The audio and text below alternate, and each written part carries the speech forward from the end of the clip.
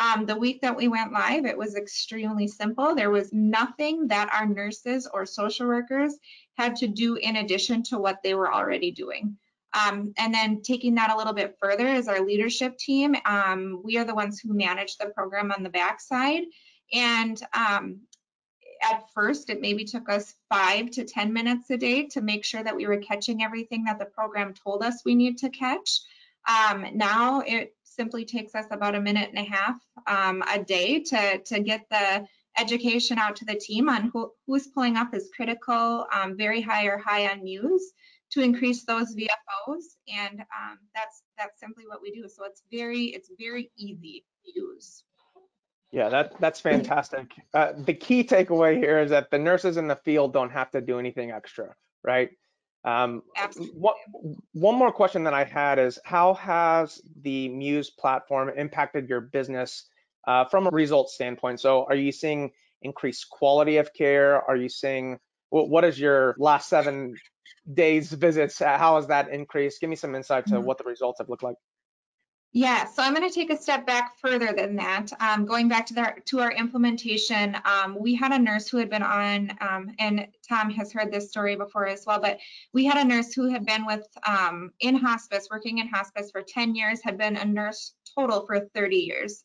And um, we implemented Muse, and her patient was pulling up as um, critical on the Muse program, which is the highest highest level, meaning that your patient is likely to decline and pass away within zero to seven days.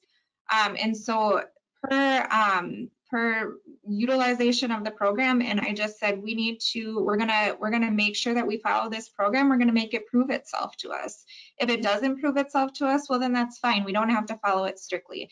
But let's make it not prove itself to us. We want, you know, we want to try and prove it wrong. So she said, okay, well, I'll increase the visits to seven days a week. So this was on a Thursday. Um, she saw her patient again on Friday. Um, the on-call nurse went and saw her patient again on Saturday.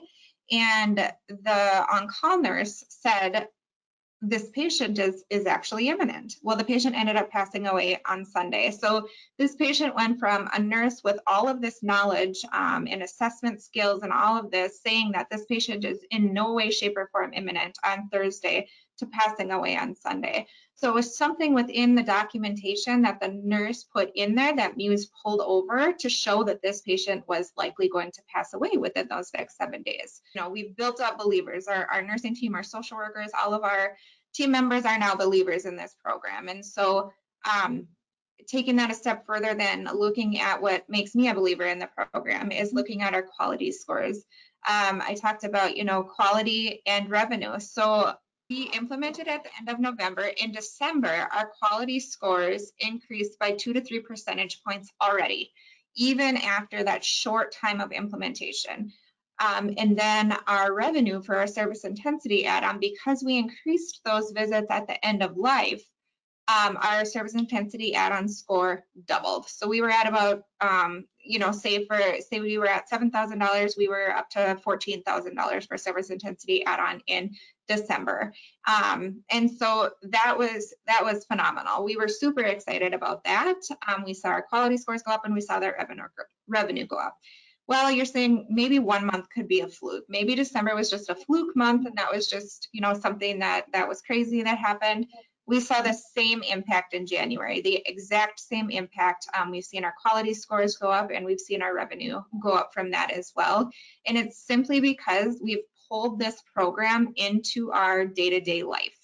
Um, we have implemented a um, stand up every morning. We call it our stand up. It's really just an email that's sent out. So we pull up the Muse program and um, send it out to our clinicians, all of our team members, and whoever is pulling up on there, anywhere from high to critical, we increase their VFOs um, for our RNs and for our home health aides to seven days a week, and we increase our social workers to three days a week. So um, the social workers are and the RNs are obviously where we get that service intensity add-on, but we also look at the home health aide piece because that that quality piece. You know, if the patient is is needing an RN out there seven days a week, well, surely they're going to need a home health aide out there seven days a week too. So it beefs up that quality piece as well. So it has the impact to the SIA um, revenue increase that you guys has that impacted your staffing? Like, are you guys able to hire more staff because of the impact to your SIA payments? Sure. So we actually were able to hire on another social worker. We're at an average daily census of about 100 right now for our hospice patients. And so we had, we were at three social workers for the longest time.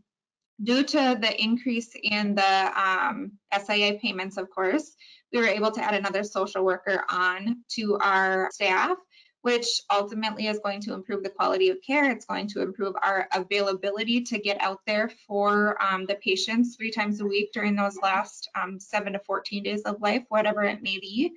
Um, so yes, it, it, has allowed us to do um, quite a bit more when we're looking at the service intensity add-on that we're getting in addition to what we were getting prior.